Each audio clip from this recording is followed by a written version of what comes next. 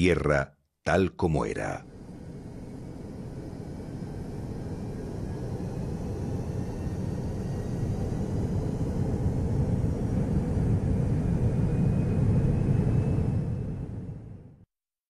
Capítulo 1 Primavera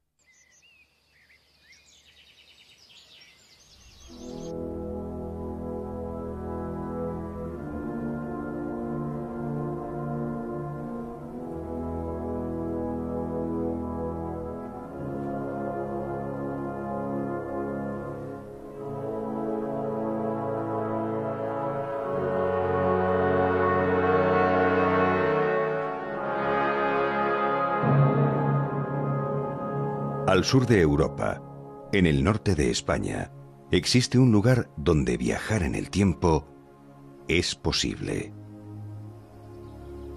Les invitamos a un recorrido por una naturaleza sorprendente, a una travesía por los parajes de Burgos para evocar la esencia de las diferentes etapas que han dejado huella en su paisaje y en su paisanaje, colmada de alusiones a la convivencia entre hombre y medio ambiente.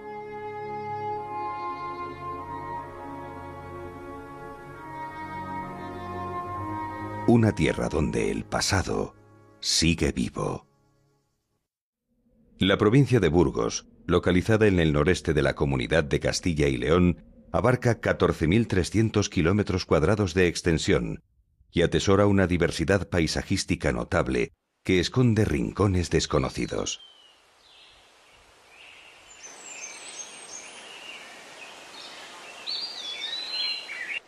La primavera se hace presente de forma desigual.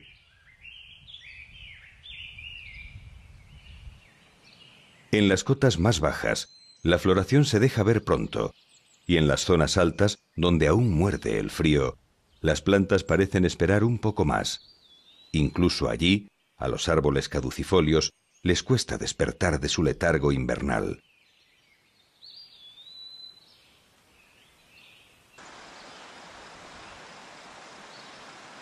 De forma muy pausada, las plantas inician su estrategia para atraer a los insectos y que lleven a cabo la polinización. Lo hacen así desde hace más de 50 millones de años. Poco a poco van apareciendo en el campo los diferentes tipos de flor característicos de cada especie. Sin embargo, hay un lugar en el norte de Burgos en el que la primavera parece hacerse prisionera de un solo árbol.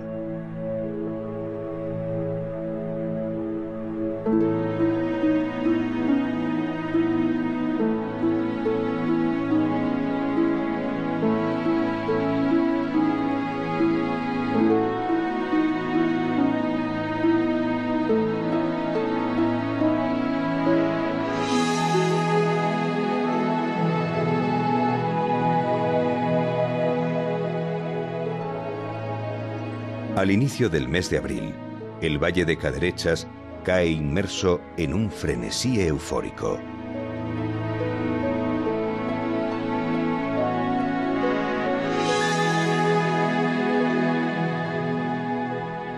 El cerezo, de origen asiático, fue traído por los romanos hace 2000 años y desde entonces todas las primaveras florece de forma tan apasionada como efímera, ya que en apenas 10 días desaparecerá la flor por completo para no mostrarse hasta un año después.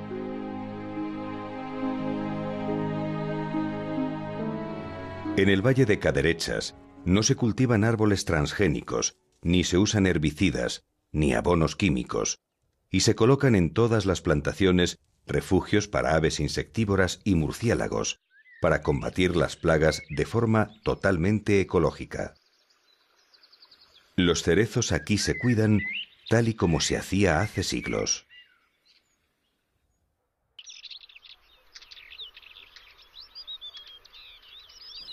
De hace cientos de años, también data la elaboración de otro producto natural, de aspecto lúgubre, pero de aplicación reconfortante para los habitantes de las pequeñas aldeas.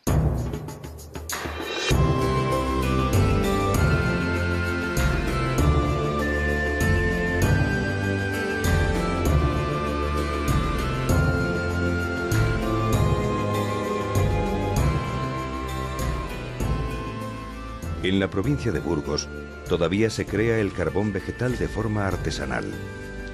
Un horno construido mediante troncos apilados, tapizado de materia vegetal y tierra, es alimentado por leña durante unos 20 días, manteniendo la combustión constante.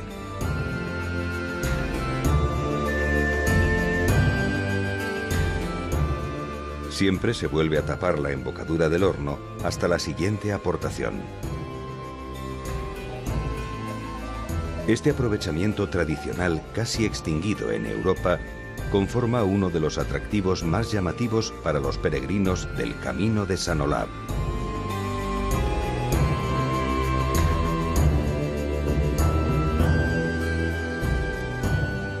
La explicación del por qué esta ruta lleva el nombre de un santo nórdico está en un romance pasional que tuvo lugar en el siglo XIII. La hija del rey Jaacón IV de Noruega se casó con un hermano de Alfonso X el Sabio. Cuando ella murió, su marido prometió la construcción de una ermita en su honor, ofrenda que finalmente no pudo cumplir. Casi 800 años después, los pueblos del entorno decidieron cumplir su juramento y entrados en el siglo XXI, construyeron la ermita de la que parte la mencionada ruta que une esta joven construcción con la Catedral de Burgos.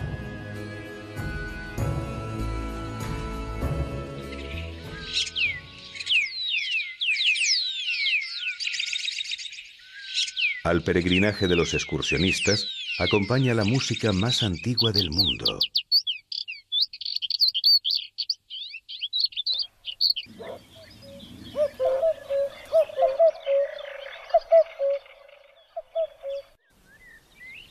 Pero no todos los machos seducen a las hembras con cantos. En las estepas de la provincia, donde el horizonte parece estirarse sin límite, habita el ave voladora más pesada del mundo, la abutarda. A principios de abril tiene lugar el cortejo y los machos atraen a las hembras ostentando sus fornidos cuerpos y exhibiendo su plumaje de una forma única en el reino animal. A este impactante galanteo se le conoce con el nombre de rueda. Una hembra está próxima a un grupo de machos. Uno de ellos acorta distancias con paso arrogante.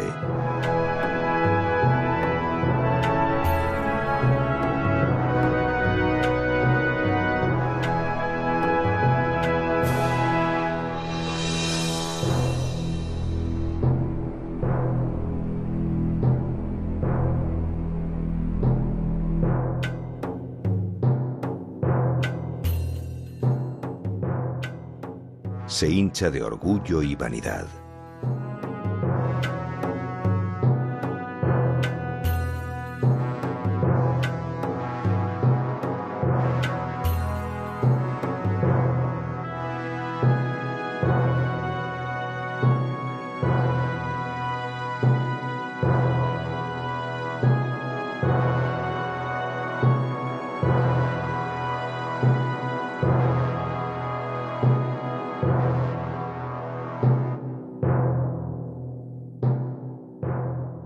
Hembra le estudia. El vigor y el aspecto lozano del macho parecen convencerle. Ella tiene que velar por los genes de su descendencia. Viendo al macho, imagina a sus hijos.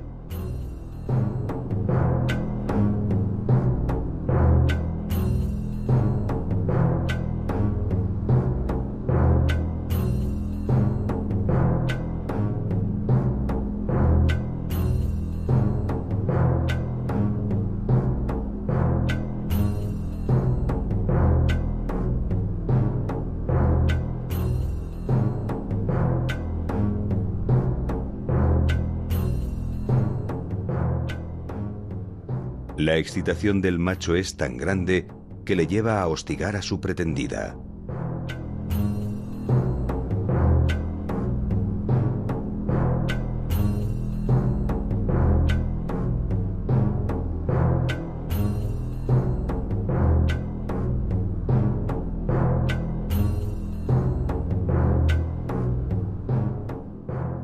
Y la pierde, de momento.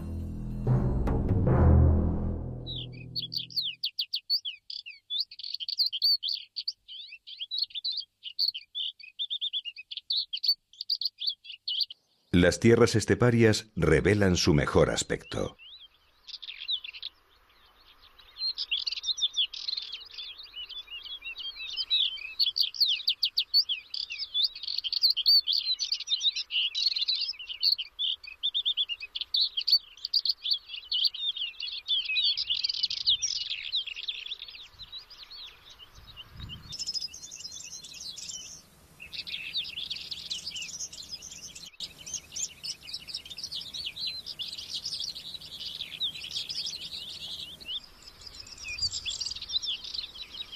En algunos lugares, como en el imperecedero páramo de Masa, se puede apreciar el aspecto yermo y tosco de la estepa más primigenia. Por páramos inhóspitos y campos cerealistas no solo deambula la fauna nativa, sino otros protagonistas impregnados de tesón y de entusiasmo.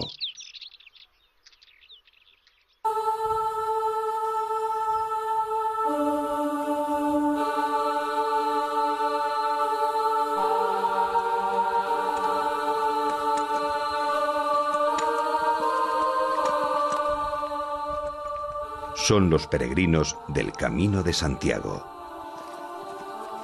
Viajeros de espíritu aventurero y de múltiples lugares del mundo, se dirigen a pie hacia la localidad española de Santiago de Compostela, pasando por los dominios de Burgos. Los orígenes de este culto ancestral a Santiago se remontan a la noche de los tiempos. Las primeras referencias datan del siglo IX. Desde entonces, millones de viajantes han hecho camino por estas tierras. El abundante y variado patrimonio arquitectónico escolta a los caminantes y en toda la provincia se encuentran multitud de representaciones de los diferentes periodos históricos.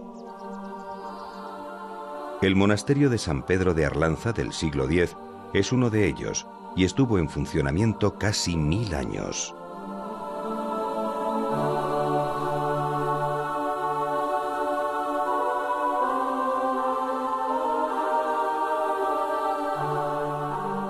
La primavera también brota en los tejados.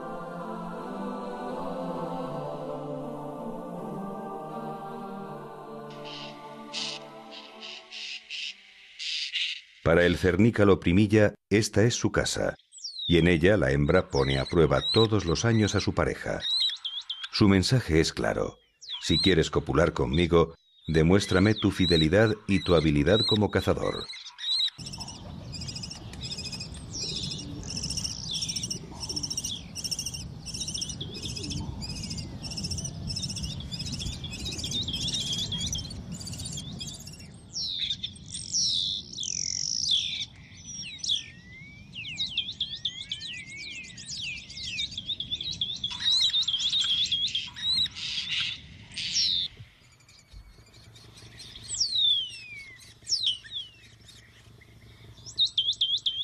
La llamativa escena es observada con gran interés por los turistas ornitológicos.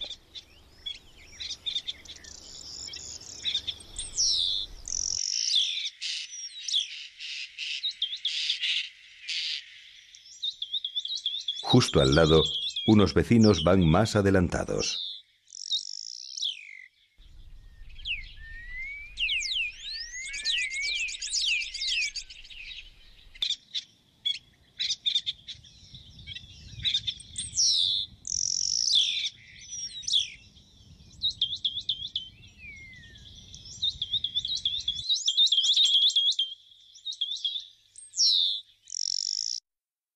Ella le anuncia la buena nueva.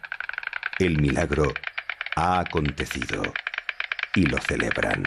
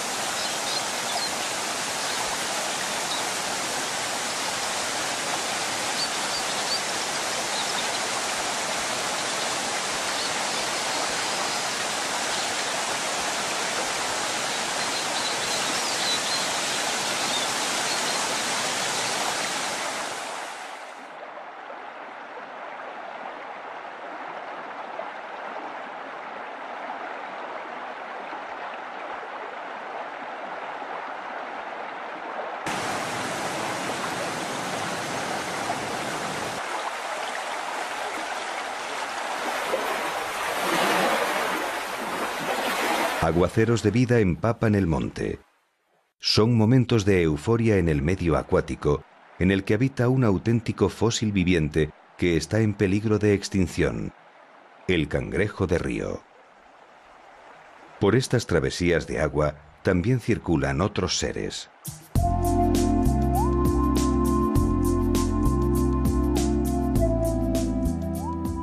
Los tramos medios de los ríos Duero, Ebro o Arlanza son ideales para la práctica del piragüismo.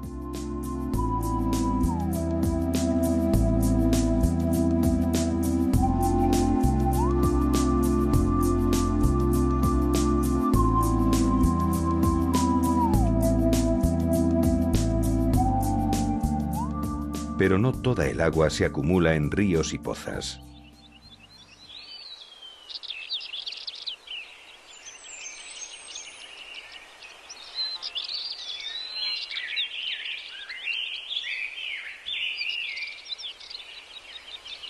Son las necrópolis burgalesas del siglo X, que forman parte del mayor conjunto de eremitorios y cementerios medievales de toda Europa. Cientos de tumbas esculpidas en piedra que han forjado la identidad legendaria de esta tierra.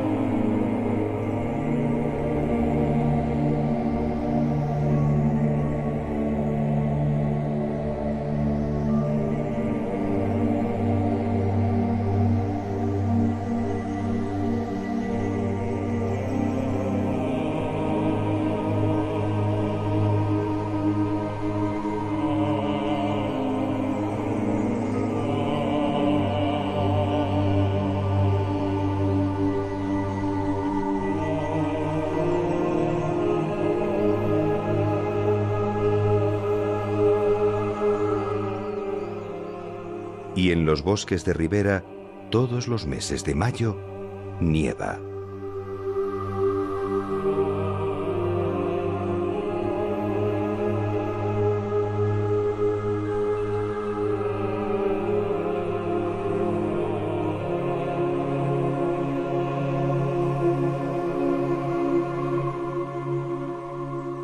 Las semillas de los chopos, envueltas en filamentos esponjosos y livianos, alcanzan todos los rincones.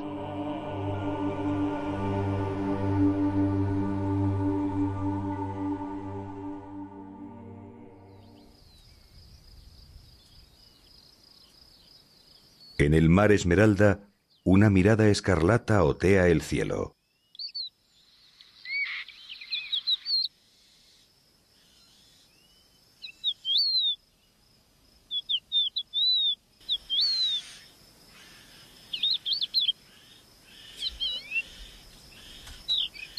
Para el elanio azul también es primavera.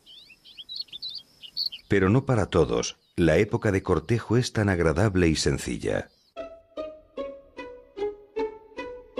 El sisón debe de mantener duelos con otros machos para defender su territorio.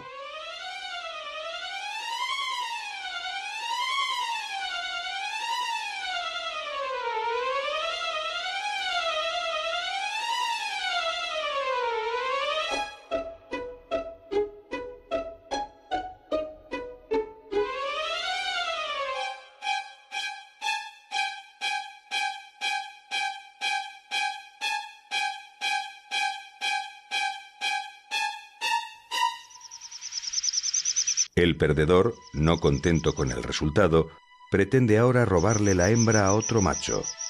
Y de nuevo otra trifulca.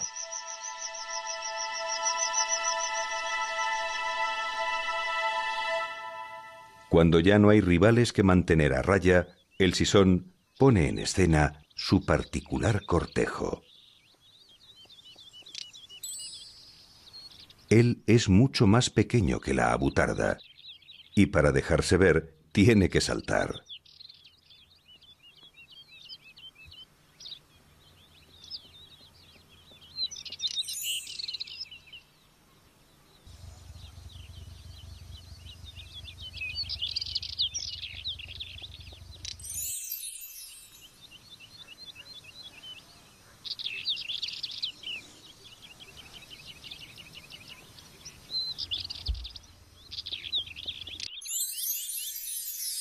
Por muy extraño que nos parezca, esta coreografía dará resultado.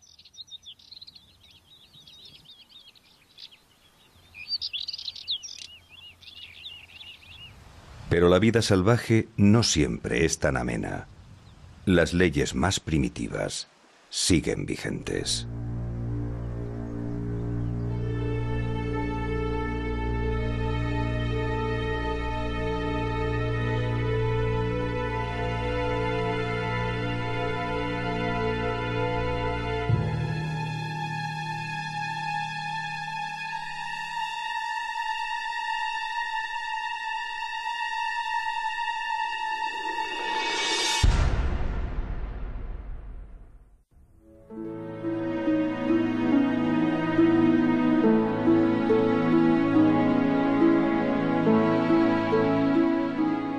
Subida de las temperaturas tinta el campo y el monte de nuevos matices. El ritmo de la vida seguirá igual de palpitante, pero con nuevas revelaciones, tanto actuales como remotas. El verano llega y nos desvelará sus íntimos secretos que serán mostrados en nuestro próximo capítulo.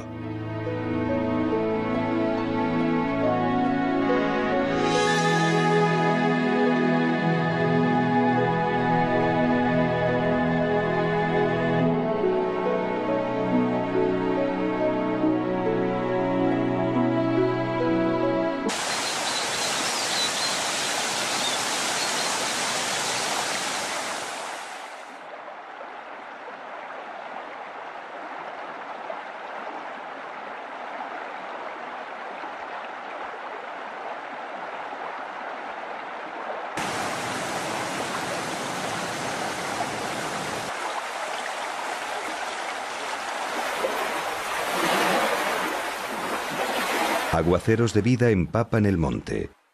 Son momentos de euforia en el medio acuático, en el que habita un auténtico fósil viviente que está en peligro de extinción, el cangrejo de río. Por estas travesías de agua también circulan otros seres.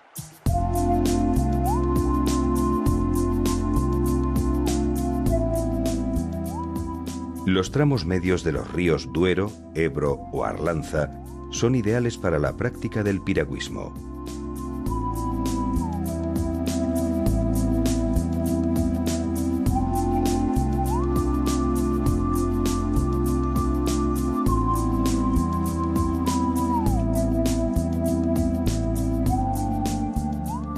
Pero no toda el agua se acumula en ríos y pozas.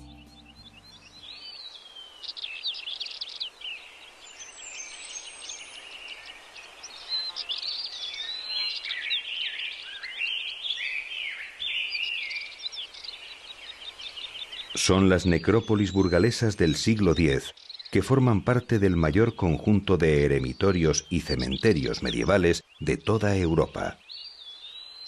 Cientos de tumbas esculpidas en piedra que han forjado la identidad legendaria de esta tierra.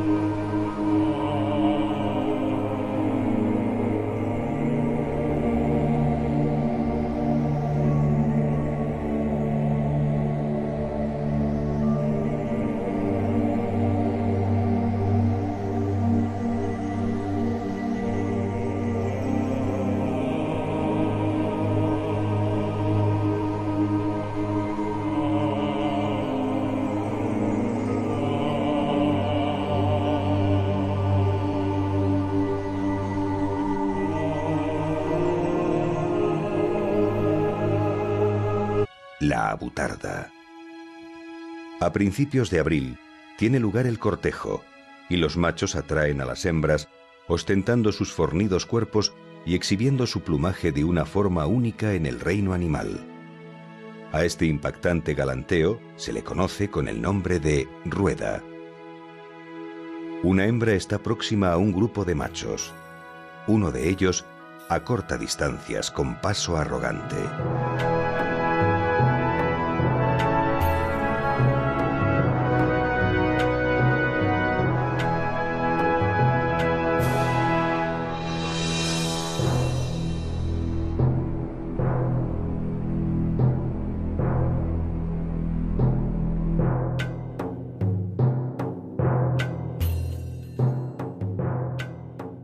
Se hincha de orgullo y vanidad.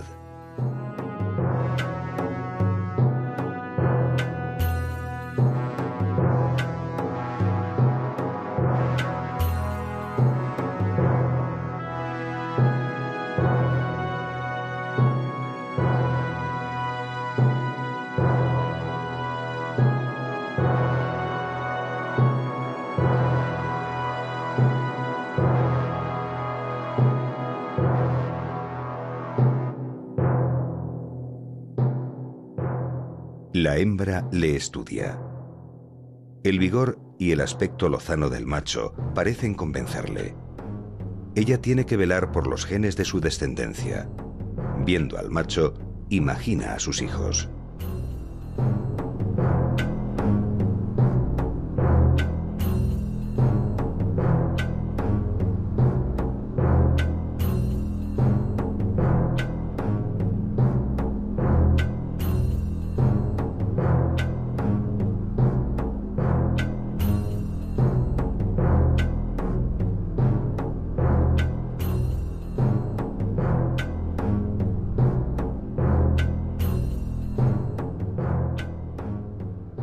La excitación del macho es tan grande que le lleva a hostigar a su pretendida.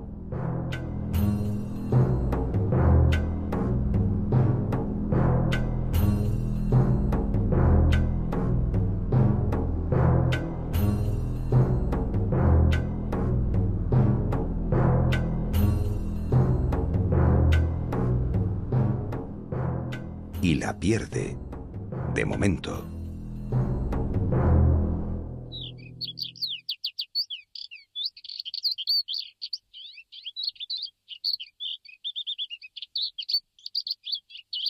Las tierras esteparias revelan su mejor aspecto.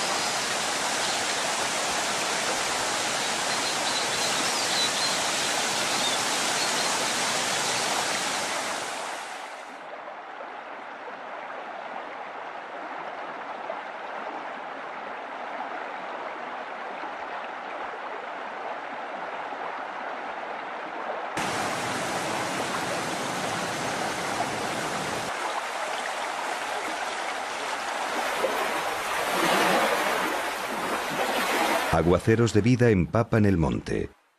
Son momentos de euforia en el medio acuático, en el que habita un auténtico fósil viviente que está en peligro de extinción, el cangrejo de río. Por estas travesías de agua también circulan otros seres.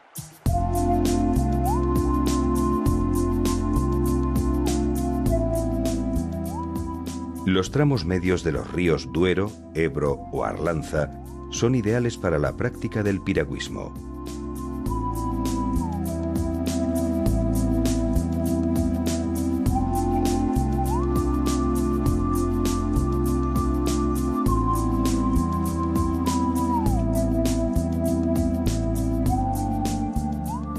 Pero no toda el agua se acumula en ríos y pozas.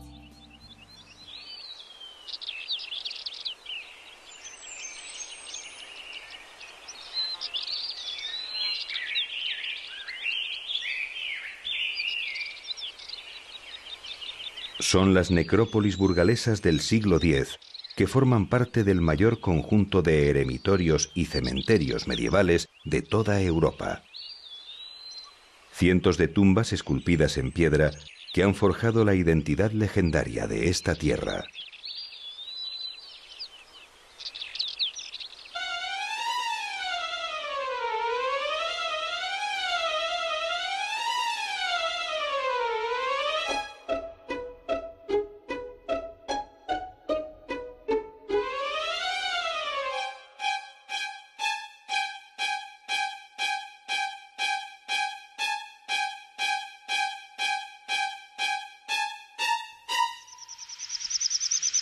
Perdedor, no contento con el resultado, pretende ahora robarle la hembra a otro macho. Y de nuevo otra trifulca.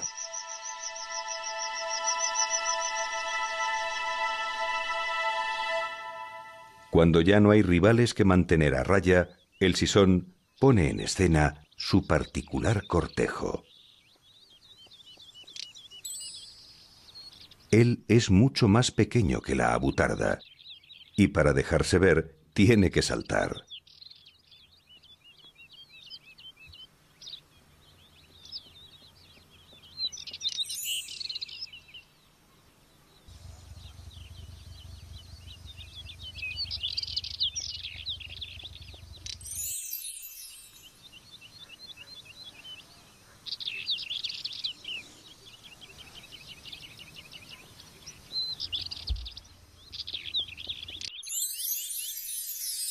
Por muy extraño que nos parezca, esta coreografía dará resultado.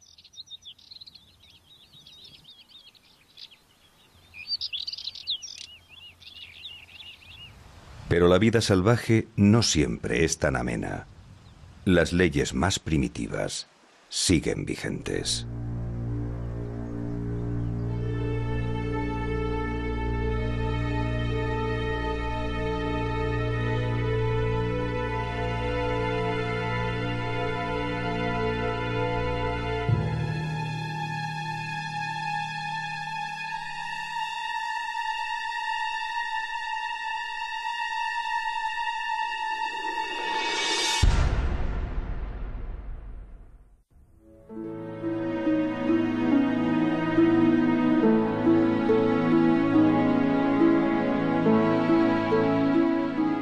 La subida de las temperaturas tinta el campo y el monte de nuevos matices. El ritmo de la vida seguirá igual de palpitante, pero con nuevas revelaciones, tanto actuales como remotas. El verano llega y nos desvelará sus íntimos secretos que serán mostrados en nuestro próximo capítulo.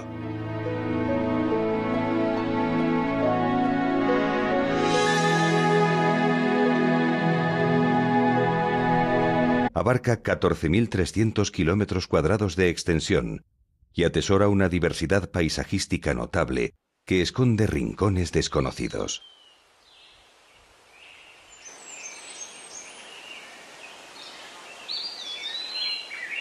La primavera se hace presente de forma desigual.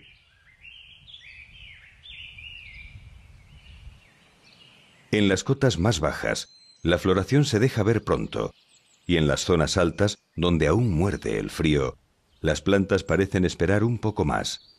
Incluso allí, a los árboles caducifolios, les cuesta despertar de su letargo invernal.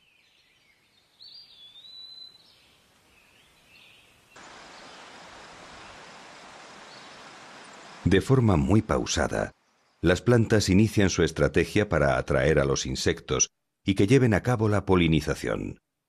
Lo hacen así desde hace más de 50 millones de años. Poco a poco van apareciendo en el campo los diferentes tipos de flor característicos de cada especie. Sin embargo, hay un lugar en el norte de Burgos en el que la primavera parece hacerse prisionera de un solo árbol.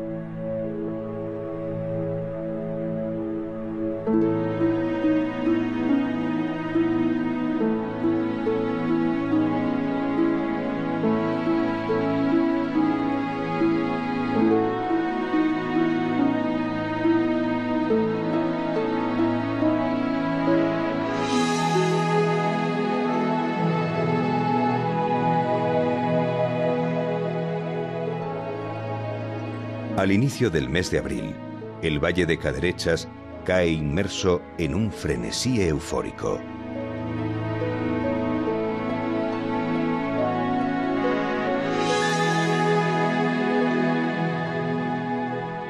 El cerezo, de origen asiático, fue traído por los romanos hace 2000 años y desde entonces todas las primaveras florece de forma tan apasionada como efímera, ya que en apenas 10 días desaparecerá la flor por completo para no mostrarse hasta un año después.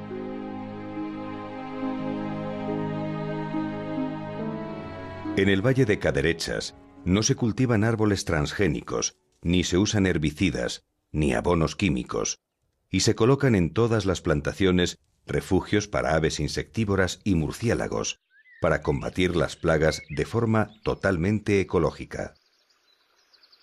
Los cerezos aquí se cuidan tal y como se hacía hace siglos.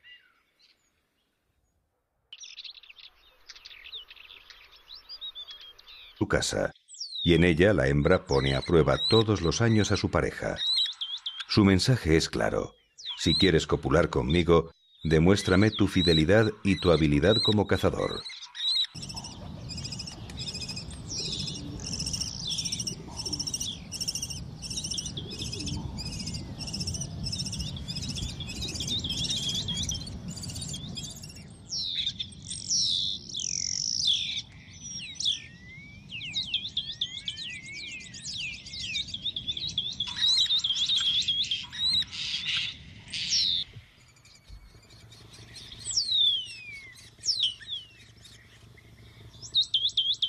La llamativa escena es observada con gran interés por los turistas ornitológicos.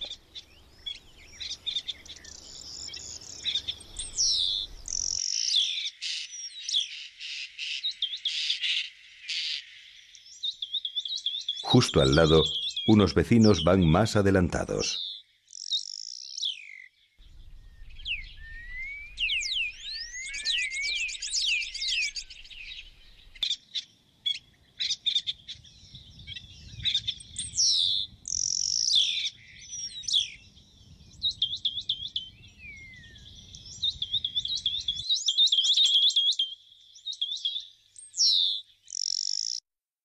Ella le anuncia la buena nueva.